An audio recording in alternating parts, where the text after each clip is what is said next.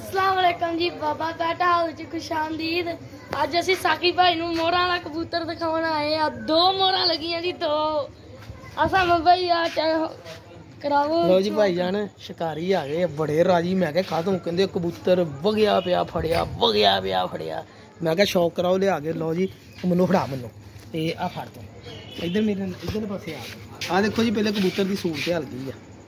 ਬੱਚਾ ਵਾ, ਪੱਠਾ ਵਾ। ਬਲੀਵ ਕਰੋ ਅੱਜ ਬੁੱਧ ਨਾ? ਹਾਂਜੀ। ਅੱਜ ਬੁੱਧ ਦਾ ਦੇਣਾ ਇਹ ਦੇਖੋ ਸੂਰਤ ਆ ਤਸਵੀਰ ਬਣਾਉਣੀ ਠੀਕ ਆ ਜੀ। ਔਰ ਇਹ ਹੈਗਾ ਜੀ ਇਹ ਚੈੱਕ ਕਰੋ ਕਿੰਨੇ ਪਰਾਂ ਦਾ ਵਾ? ਸੱਤ ਪਰ ਦਾ ਪੱਠਾ ਮਾਸ਼ਾਅੱਲਾ ਇਹ ਚੈੱਕ ਕਰੋ ਸੱਤ ਪਰ ਦਾ ਪੱਠਾ।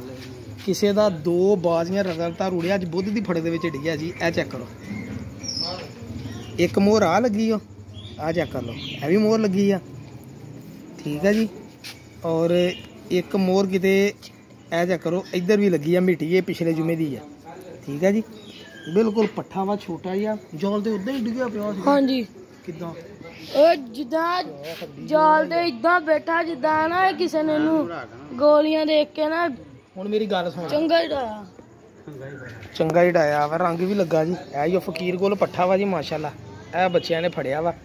ਹੁਣ ਤੂੰ ਇੰਜ ਕਰ ਇਹ ਕਬੂਤਰ ਨੂੰ ਮਾਸ਼ਾਅੱਲਾ ਬਿਲਕੁਲ ਪਰਫੈਕਟ ਇਹਨੂੰ ਕੋਈ ਮਸਲਾ ਨਹੀਂ ਹੈਗਾ। ਇਹਨੇ ਖਾਣੇ ਹੁਣ ਬਦਾਮ। ਉੱਤੇ ਫ੍ਰਿਜ ਦੇ ਵਿੱਚ ਨਾ ਕੋਲੀ ਦੇ ਵਿੱਚ ਮੈਂ ਪੇੜਾ ਬਣਾ ਕੇ ਰੱਖਿਆ ਬਦਾਮਾਂ ਵਾਲਾ। ਠੀਕ ਆ? ਉਹ ਪੇੜਾ ਲਿਆ ਇਹਨੂੰ ਗੋਲੀਆਂ ਦੀ ਇਹ ਬਦਾਮ ਦੀ। ਇਦਾਂ ਆਇਆ ਜਿੱਦਾਂ ਇਹ ਛੁੱਲੀ ਤਰ੍ਹਾਂ ਆਉਂਦਾ ਨਹੀਂ ਭੰਬੀੜੀ ਘੁੰਮ ਕੇ।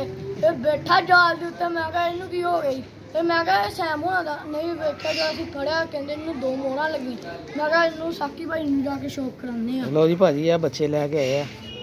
ਅੱਛਾ ਪੱਠਾ ਵਾ ਜੀ ਸੱਤ ਪੜ ਦਾ ਬਹੁਤ ਅੱਛਾ ਪੱਠਾ ਫਕੀਰ ਕੋਲ ਲੈ ਜਾ ਕਰੋ ਮਾਸ਼ਾਅੱਲਾ ਹੁਣ ਇਹਨੂੰ ਖਰਾਕ ਪਲੇ ਕਰ ਲੈ ਖਰਾਕ ਬਣਾ ਕੇ ਰੱਖੀ ਸੀਗੀ। ਹੁਣ ਦੇਖੋ ਬੱਚੇ ਆ ਜ਼ਾਇਆ ਤੇ ਨਹੀਂ ਨਾ ਆਪਾਂ ਕਰਨਾ ਪੱਠਾ।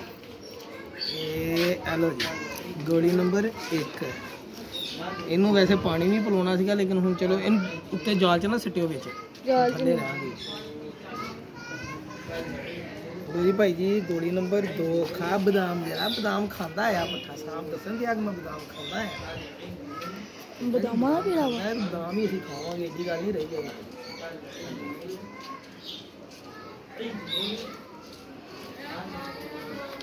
ਕਿਉਂ ਚੰਗਾ ਅੱਛਾ ਪੱਠਾ ਫੜ ਲਿਆ ਜੀ ਹੋਰ ਜੀ ਇਹ ਕਿੰਨਾ ਨੰਬਰ ਹੂੰ ਨੰਬਰ ਚੌਥਾ ਦੋ ਸੱਤ ਇਹ ਦੇਖੋ ਜੀ ਪੱਠਾ ਬਹੁਤ ਸ਼ਾਨਦਾਰ ਪੱਠਾ ਬਹੁਤ ਸ਼ਾਨਦਾਰ ਔਰ ਬਹੁਤ ਹੀ ਪ੍ਰਵਾਹੀ ਹੈ 6 ਵਜੇ ਤੇ ਰਹਿ ਗਏ 15 ਮਿੰਟ 6 ਵਜੇ ਤੇ 15 ਹੁਣ ਮਿੰਟ ਫੜਿਆ ਇਦਾਂ ਪਰ ਸਿੱਟੇ ਹੋਏ ਸੀ ਜਾਲ 6 ਵਜੇ ਤੇ ਤੂੰ ਪੱਠੇ ਨੂੰ ਯਕੀਨ ਕਰੋ ਪਤਾ ਹੀ ਨਹੀਂ ਹੈਗਾ ਕਿ ਮੈਂ ਉੱਠ ਕੇ ਆਇਆ ਹਾਂ ਬਹੁਤ ਅੱਛਾ ਜਨਾਬ ਠੀਕ ਹੈ ਜੀ? ਲਓ ਜੀ ਜੇ ਕਿਸੇ ਨੇ ਲੈਣਾ ਹੋਵੇ ਤੇ ਦੇ ਦੋਗੇ ਤੁਸੀਂ? ਹਾਂਜੀ।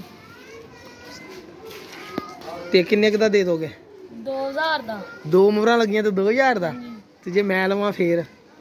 ਤੁਹਾਨੂੰ ਵੀ 2000 ਦਾ। ਫਨਕਾਰ ਬੰਦੇ ਆ ਭਾਈ ਬੜੀ ਗੱਲ ਆ, ਨਾਲੇ ਖਰਾਕ ਬਦਾਮ ਖਵਾਈਏ ਤੇ ਨਾਲੇ 2000 ਦਾ ਪੱਠਾ। ਚਲੋ ਜੀ, ਠੀਕ ਹੋ ਗਿਆ ਜੀ। ਲੋ ਜੀ, ਬਾਬਾ ਪੈਟ ਹਾਊਸ ਵੈਲਕਮ ਖੁਸ਼ਪੈਮ ਦੀਨ ਬੈਕ ਤੋਂ ਟੈਸ਼ ਪਿਆ